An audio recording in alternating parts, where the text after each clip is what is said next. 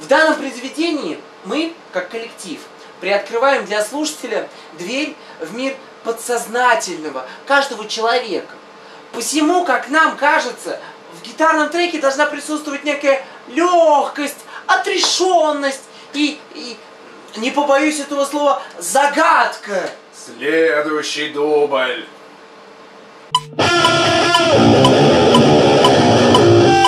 Не попал. Следующий час.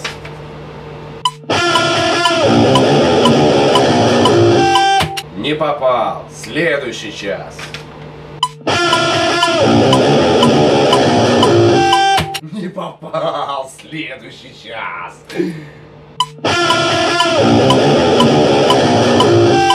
Не попал. Следующий час. С тех пор, как ты начал играть на барабанной установке, утекло много времени, воды, слез и соплей.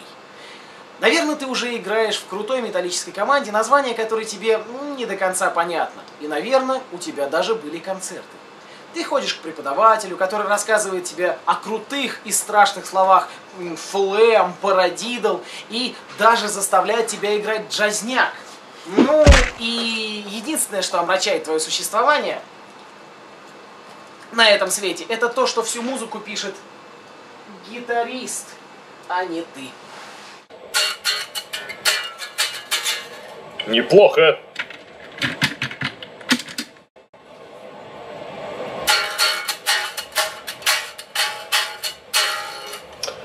Бля, вообще здорово.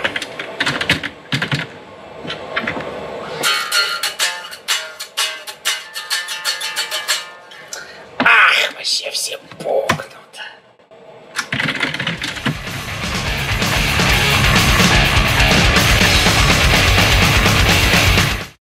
Гитарист не думает о том, какие брейки вы прошли с преподом, о том, что такое парадидл или флэм. Он думает о рифе, который лезет у него из головы, и о том, как этот риф подчеркнуть барабаном.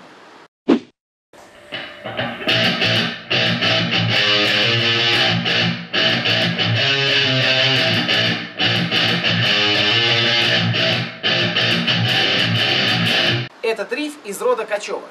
Поэтому само собой напрашивается, что руки ходят прямо, а бочка подчеркивает основные акценты из этого рифа.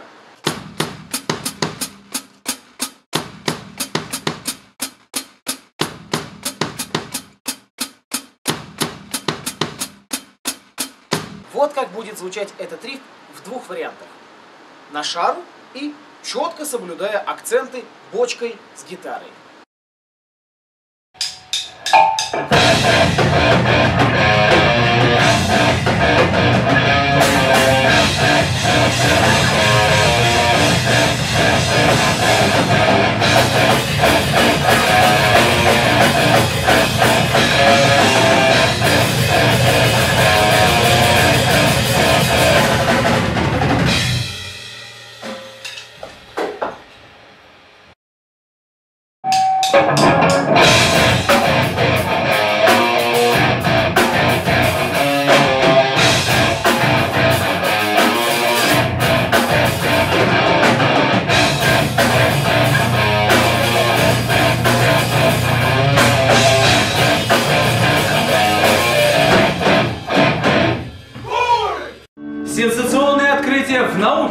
Ученые Новохудоносорского университета города Усть-Чугуевск после десятков лет исследований наконец-то нашли ответ на так всех мучивший вопрос.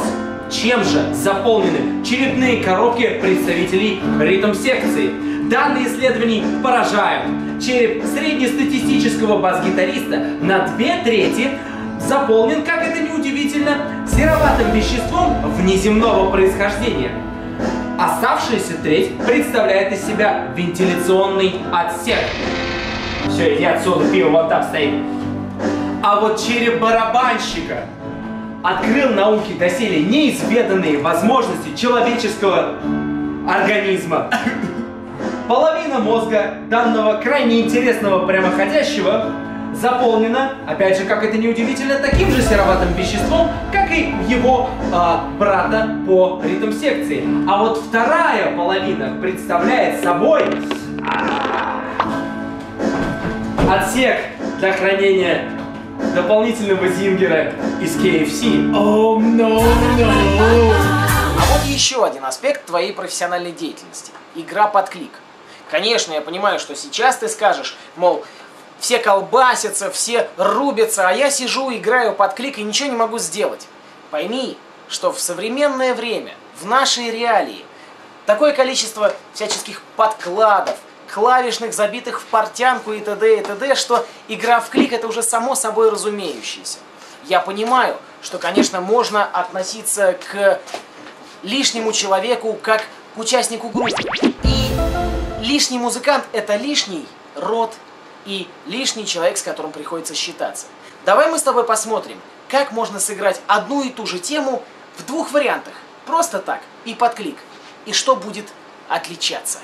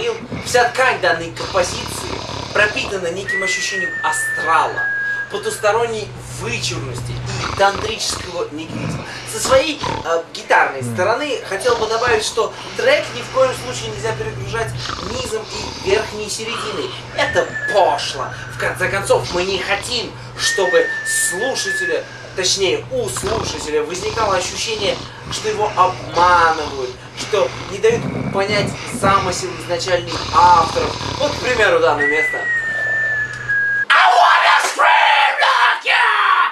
Вот, вы тоже со мной согласитесь, согласитесь, вы глубокий человек, я вас прекрасно понимаю. Э, Согласитесь, опять же, что в последнее время в современном обществе возникает определенная тенденция к невосприятию подобных сентенций. Марья Ивановна, а вы что-то раздобрели в последнее время?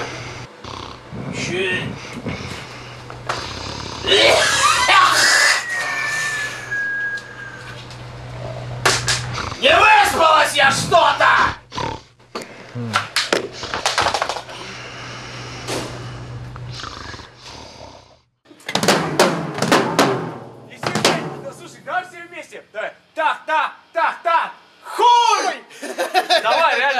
Два квадрата играем, репетируем, репетируем. Два квадрата играем, в конце хуй. В конце хуй. А, Значит, на стыке квадратов обычный брейк заканчиваем так, так, так, так.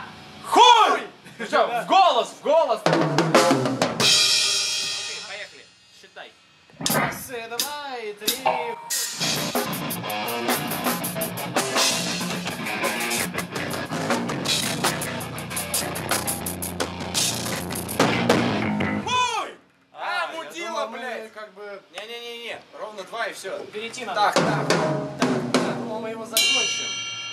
Не-не-не. Не-не-не, ну на Иначе последнем, не ну. вяжется, иначе не Как бы так, стык двух квадратов я играю.